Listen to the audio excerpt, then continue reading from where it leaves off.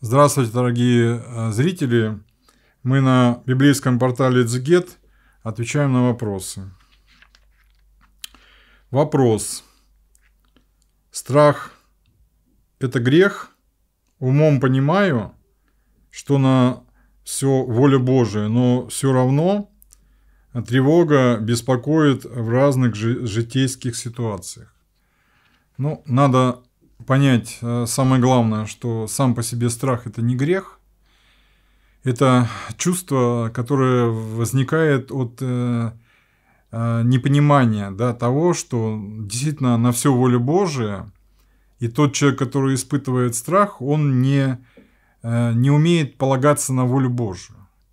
Потому если человек не умеет читать молитву, обращаться к святым, Божьей Матери, Господу, когда он сталкивается с, каким-то, с какой-то ситуацией, которая может быть навести человека на какой-то физический страх, то вот враг, он может действительно э, поучаствовать э, в этом деле, и он э, действительно э, как бы наводит э, вот это вот физическое чувство ужаса, потому что есть и другое понятие страха, как пишет пророк Давид, что начало премудрости – страх Господень.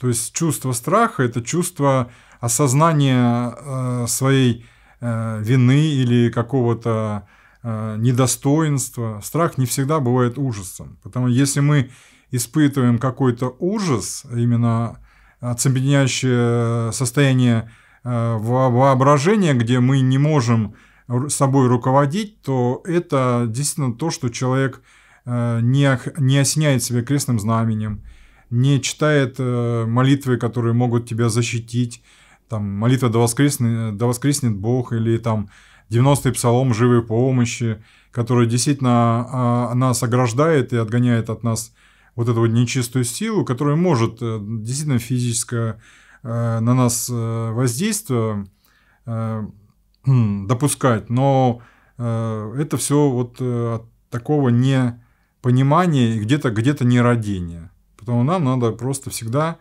вот в какой ситуации бы мы ни оказались, то есть э, всегда ум сразу возлагать на помощь Божию, на промысел Божий и старать, читать, старать, стараться читать молитвы, которые нас будут в этом случае ограждать, и тогда мы будем всегда жить с Богом.